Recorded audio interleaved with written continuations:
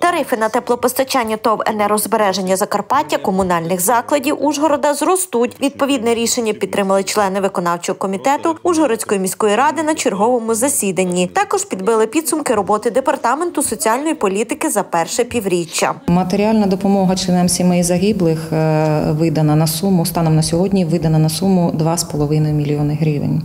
Щомісячно надається допомога е, дітям загиблих, е, пораненим і е, батькам, тобто підтримуємо всі програми. Працюють станом на 1.07.24 року допомогу на проживання внутрішньо переміщеним особам отримують більше ніж 3 тисячі сімей. Загальна сума нарахування за звітний період склала 13 мільйонів 626 тисяч гривень.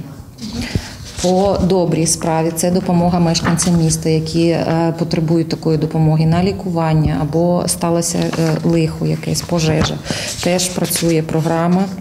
І на сьогодні виплачено е, на зараз 4,5 мільйони гривень.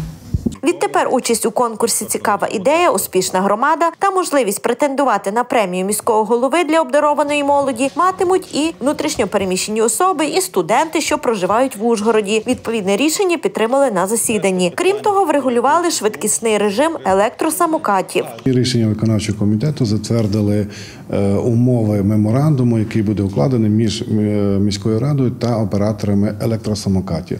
Він визначає базові умови співпраці щодо надання такого виду послуг. Він стосується здебільшого безпеки перевезень. Ну хотів би сказати, що частину умов основних цього меморандуму операторами вже виконано. Обмежена швидкість у центральній частині міста та е, швидкість у цілому по місту. Тобто вони зменшено 2 20 кілометрів по місту і 10 кілометрів у центральній частині міста.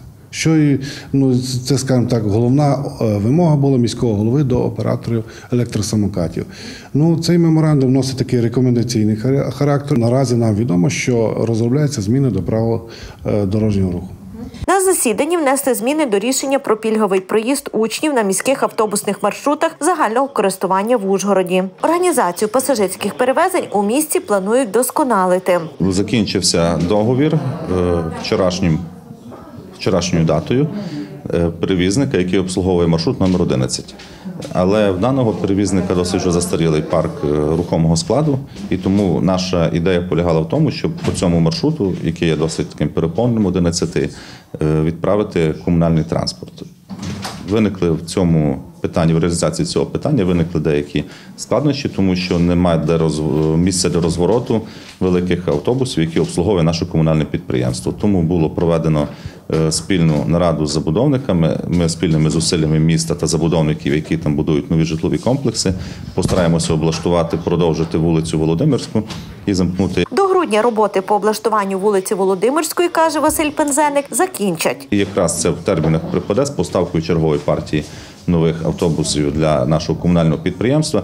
Тому до грудня, для того, щоб повністю не зупинити е, рух по цьому маршруту, ми надали ще перевізнику, який на даний момент обслуговує. А вже з грудня місяця плануємо туди запустити з нового автобусного парку нашого комунального підприємства. На даний момент є 28 автобусів, які е, працюють на комунальному підприємстві. Зараз буде ще плюс 13, і також очікуємо в наступному до кінця наступного року по програмі Європейського інвестиційного банку. До кінця цього року вже буде здійснено перше фінансування, так як тендер вже пройшов. Очікуємо ще 10 автобусів електричних розміром трошки менше як 10 метрів, і це нам дозволить е, їх е, дати на обслуговування маршрутів, на яких наші теперішні трошки більші не можуть розвертатися, боїться. Тобто зараз плюс 13, у 25-му році плюс 10 електричних. На перехресті вулиць Радіщева та Слов'янської набережної в Ужгороді з'явиться капличка, а згодом і греко-католицький храм.